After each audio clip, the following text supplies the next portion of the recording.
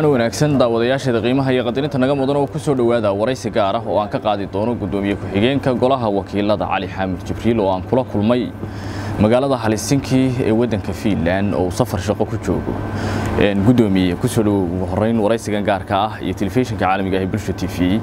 Bal waxaad nooga warbixisaa safarkaaga aad ku timi qaaradda yurub gaar ahaan waddanka fiinland bismillahi raxmaan raxiim yuusufow safarkaygan wuxuu ahaa safar qorshaysnaa waanu ballamo badan halkan aan ku lahayn dalka fiinland oo ay finfan iyo fin partnership wasaaradda arrimaha dibadda xisbiga s d b-da iyo gudoomiye ku-xigeenka baarlamanka jamhuuriyadda finland waanu kulannay casho sharaf buu sameeyey dhinac kasta waan la kulannay wax fiican baa noo qabsoomay waanu wada hadalnay wax fara badan baanu iswadaarsanay oo sidaan u xoojin lahayn xidhiirka labada dhinac si aan waxqabsiga aanu iskula xoojin lahayn.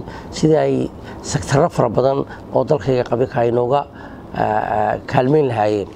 Waxaad la kulanteen wasaaradda arrimaha dibadda. Maxaa ka wada hadasheen wasaaradda arrimaha dibadda waxaanu ka wada hadalnay mucaawimooyinka iyo sidii waxyaaba fara badan ay nooga kaalmayn lahaayeen sidii aanu xiriirkayagu oo aanu joogto u noqon lahaa hadiya jeera qadiyadeedu siaad ka warqabtaba waanu soddonkii sana u dambeysayba koo iyo soddonkii sana u dambeysayba waanu wadnaa kolba meel bay maraysaa. Maantana waxay timid oo inoo xaqiijiyeen inay qadiyadda somalilan ay tahay inahaan laga qarsan karin oo wax reality guraanku yaalla ay tahay.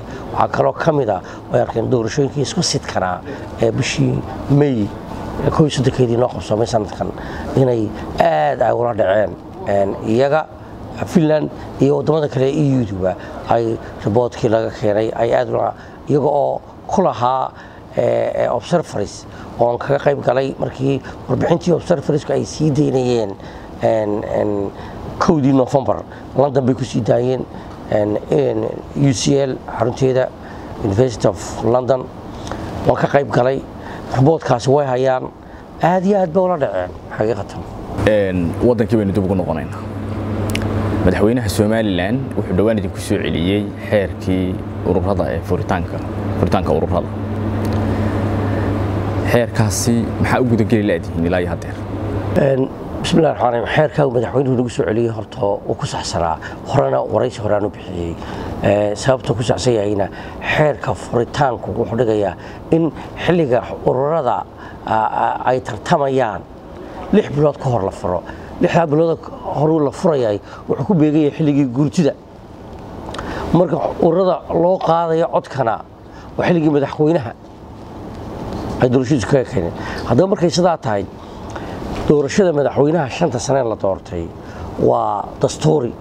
Annagu haddaanu gola wakiila nahay waxna kuma dari karno waxna kama bedeli karno. Maadaama ay sidaa ay tahay annagu golihii wakiilada haddaanu nahay xeerkay aanu samaynay kaasuu ku dullacayaa marka labadoodu markay kulmaana kaasaa fudud oanu bedeli karnaa. Sidaa laajligeed way nagu soo celiyeen waananu aqbalnay. Madaxweynuhu xeerka muddo ayuu hor marka dastuurka la eegana wuu muddo dhaafay. Wakhtigii uu ansixin lahaa madaxweynuhu ee saxeixa u dambaysa siin lahaa. Markaas arrintaasi sababtii ay ku dhacday madaxweynuhu ma idinla wadaagay sababta ku dhacday xilligaa shirgudoonku ma doornayn oo bila shirgudoon bay ahayd oo xilligii waxaa madaxweynaha loo keenay qolahii wakiilada oo aan la dooran bishii julaay deedna madaxweynuhu wuxuu la sugayey inta uu shirgudoon la dooran doono. Deetna saddexdii ogost markiina la doortay ayaa wuxuu nagu soo celiyey labaatan iyo kowdii ama labaatankii ama labaatan iyo kowdii bishii ogost ayuu nagu soo celiyey.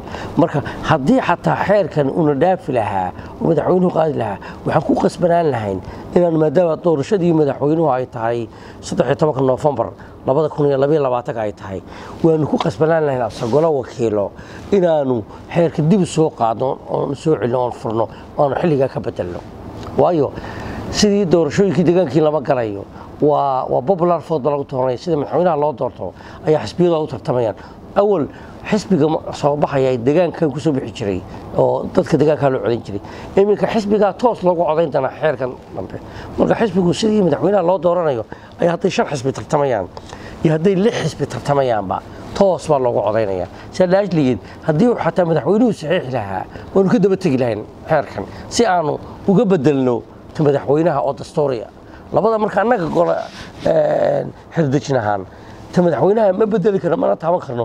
Tan xeerka lagu sameeyey waanu soo qaadan karnana bedeli karnaa waa tahay. Gudoomiye ma la odhan karaa xeerkaasi waxaa hortaagan shir maadaama oo asxaabta mucaaradka ah aanu dan u ahayn. Walaal dalku shuruuc buu ku shaqeeyaa iyo xeerar buu ku shaqeeyaa. Haddaan iska idhaahdo dad baa hortaagan. Annagu ma hortaagin. Haddaanu xeerkan iminkadan la sii daayo dalka xeerarkiisaanu eegnaa. Xeer xeer ku duldhacaya dee ma samayn karno. Wax allaale wixii doorashada carqalad ku noqonaya. Baylow ma sii dayn karno. Mas'uuliyaddeedaana saaran. No only shirguddoon annaga maaha xataa xildhibaanada baarlamanka ayay mas'uuliyaddani saaran tahay. Way arkayaan inay isku beegmeen. Sidaa laajligeena tani ay fududahay inaan ka leexino oonu ka dimarino ama aanu ka soo hormarinin xisbiyada iminka la furo which is impossible iminka laga gaadhsiiyana. Waayo waxay noo taagan guurtidiibaa waxay kaga egtahay koob iyo soddonka mey labada kun iyo labaiyo labaatanka. Marka maanta oo aynu bishii ku jirno nofembar gebigeeda waxa ka hadhay lix bilood baa inooga hadhay inaynu hawsha ku dhammaystirno. Waad garan shaqada inoo taalla asagolo wakiil ahaan. Meel kale iskama qaadi karno. Waxaa wixii shaqadan aanu qabanayno ka hor imanaya oo inaan ka xaadhnaa xildhibaanaduna dareenkaa way qabaan. Waa tahay guddoomiye gobolkii awdale adiga lagaa soo doortay. Waxaa ka jira cabashooyin badan oo dhinaca mashaariicda ah. Sidaad u aragtaa adigu wallaahi cabashooyinkaas faraha badan lihi marka mashaariicaha ama isdheeftaata ama waxyaabaha kale la dejinayo waxay hadda ka hor dowladdeedii hore markii la dejiyey waxyaaba fara badan baa golihii wasiiradu isla qaray inay khaldameen oo dowlad wax dhegaysata bay ahayd ka garawda oo rugcadaa uu hogaaminayo wax fara badan baa layidhi golaha la soo marayo si mashaariicaha la qaybinaya dalku haddii kale meelbay haddii wasaaradda beeruhuna meel u qorshayso ta banaaniguna meeluna qorshayso hal meel ku wada dhacaanay un laysoo geyni. Waxay keenaysaa in meel aan loogu talagelinayn saddex mashruuc wada galaan gobolkaas saddex mashruuc wada galaan. Marka wax way ka jiraan laakiin waxaa loo baahan yahay in mashaariicaha horumarinta iyo sdfta la yidhahdo in golaha wasiirada la keeno maadaama madaxweynuhu yahay madaxweynihii dalka ugu horeysay isagaa la wada doortay dalka dhexaadkii udub dalka uu yahay. In golaha wasiirada la keeno oo loo arko mashaariicaha marka la ansixinayo golaha wasiirada la keeno in gobolladii dalku si siman wax loogu qaybiyey ay u arkaan taasaan aan leehay raadardan intay wasaaradda ay soo qorsheynayso keligeed. Loolan doorasho ayaa jira ma is leedahay xusbiyada mucaaradka ahi? Way kaga adkaanayaan xusbiga kulmiye gobolka awdan walay taa anigoon iminkama kooranba iminkay caddayd doorashada iminka u dambeysay sida loo kaleelay xisbiyada mucaaradku laa shaki. Laa shaki inay kaga adkaanayaan xisbilxaakimka gobolka awdal laa shaki taasi. Wayna caddahay faahfaahinteedana afkayga balaa kuma qurux badan ground reality inaad gobolka tegdo afarta degme gobolka aad tegtay ku qurux badan tahay ama aad ka soo warbixisaan xusbiga ucud waxaa ka socda abaabul uu ku qabsanayo shirweynihii abaabulkaas xagu maraya inkastoo dee dibadda ka joogo oon iminka shaqaa ku soo maqnay inta u dambeysay. Meel fiican buu marayaa oo way isabaabulayaan waana shirweynihii meel fiican buu bishan dabeeqadeeda sagaalaatanka ayuu inuu qabsoomayey ay tahay guddoomiyihii xisbiga ucid xisbiga ka tirsanaya ucid. Guddoomiyihiisii guddoomiye faysal cali waraabe waana wada hadalnay warbixinta way siiyey meel fiican bayna wax marayaan si habsami leh bayna shaqadu la socotaa. Waay xusbiga kulmiye ayaad ka tirsanaan jirto muddo dheer ka soo tirsanayd. Waktigii doorashadu bilaabmaysay ayaad waxaad u wareeg ma la odhan karaa waad soo baxaysay una inaad soo baxdaad rabtay laakiin daacad kama tihin ahaanshaha xisbiga ucud haddana daacadka ahayd halka bamaan imaadeenba xisbiga kulmiyana isagaa ku wacad furay dadka yuusufow raggii xisbiga asaasay baa ka mid ahaa. Dhiigkayga iyo dheecaankayga galay. Weligay habeen quraata kamaan leexan markii xisbiga la asaasayey rugcadaagii hore siyaasadda axmed maxamed maxamuud shiilaanyo oo asaasay labadii kun iyo labadii raggii tomby hall east london ka asaasay baan ahaa ka mid aan ahaa. Guddidiisii ugu horeysay afar tobankan ka mid ahaa ilaa xilliga habeenna kamaan leexan laakiin mushkiladdu waxay ka taagan tahay markaad sidaad ahayd ee maanta laysi sharaxaya layidhi laguma baahnaa ayaan aniguna maan caytabin maan aflagaadoon raggaan ehelu ahayn baa xisbiga kulmiye maanta la jooga oo go'aankan qaatay. Deedna markiisaa laygu yiri dee nin weyn baan ahaye nin meel igu darayay sharaxayd. Infact xisbiguna dee kulmiye codna ima siinayn waxna ima siinayn markiisaa laygu yiri dee manaan caytabin manaan aflagaadoon caytabina maayo aflagaadoonna maayo. Dee waajibkaygaan iska guto halkaasa ka maray. Laakiin mushkiladdu waxay ka taagan tahay. Markaad xisbi aad labaatan sannadood cimrigaaga soo siiso eed ka soo shaqayso ee aad xoogaaga iyo waxaas xil kamaa rabin waxba kamaa rabin cod xisbigu ima siinin dhaqaale kulmiye kama rabin. Rugcaddaa aan ahay intaan ku jiray lagugu yidhaahdo laguma baahna iska soco kuma sharaxayno infact maxaad dareemaysaa. Xisbinimadii iyo dimuqraatiyaashakeeni baa xudhimaysaa waxaa wax u dhimaysaa. Adigoo kale ama dadkii jiilkii kale ayaa waxay leeyihiin xisbiba daacadaha u noqon. Waa mushkiladaha uu xisbigan xaakimkan uu keenay ka mid tahay. Qofku markuu sidaa yahay xilka waa sax. Xilka lama wada helo oo malihii maxaa xilka loogu dari waaye way annaguba markaanu xilka haynay. Dee dad baa bannaanka joogay kulmiye xaqiiqatan. Soo maaha maantana markaan kulmiye wada ahayn ee hore kulmiye horeen ahaa dee madaxweynaha maanta jooga mudane muuse biixi ma wada magacaabi kara dadka in baa bannaanka fadhiya habi baanu ku haynaan bannaanka joogno laakiin wanis adigu aad socoto ee xisbiga cid iiga mudnayd ma jirto in la sharaxo laakiin markuu tallaabadaa qaaday dee waad garan kartaa markaad waayeel tahay rugcaddaa tahay dee haddaa talaabada wixii kugu habboon baad qaadaysaa iyadoon ceeb iyo cay iyo aflagaada iyo waxnaana ku jirin. Marka xisbiga kulmiye isagaa kuwa cadfuray dadka ee laguma wacadfurin aniguna kumaan wacadfurinay isagaa igu cadfuray weligeyna meel aan galay iyo mabda aan qaatay kama leexdo. Habeen quraata kulmiye kama leexan. Marka maantana ciid baana ka tirsanay isbahaysina waan ka tirsanahay? Labadaa xisbi ee mucaaradka. Habeenna ka leexan maayo.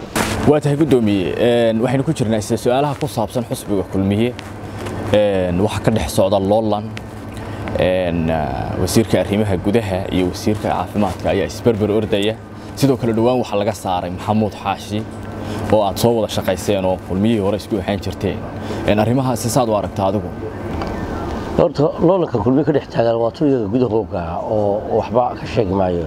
Laakiin ta maxamuud xaashi un baan wax ka odhanayaa maxamuud xaashi waa rugcaddaa siyaasadeed xisbiga xooggiisii xinigiisii soo geliyey. Guulihii bariga laga gaadhay labadii kun iyo toddobiyo tobankiina maxamuud xaashi horseed buu ka ahaa. Kaalin libaax buu kaga jiray. Ragga guusha ama ragga waxaan ku odhan karayaa muuse kursiga saaray buu kow ka ahaa. Wax fara badan buu xisbiga tacabgeliyey xisbiga hoggaankiisa sare kuma uusan jirin. Waa lagala dagaalamay hoggaanka kuma jirin kuma jirin fulinta xisbiga oo laga saaray. Golaha dhexe xisbiga way ka saar way kala dagaalameen.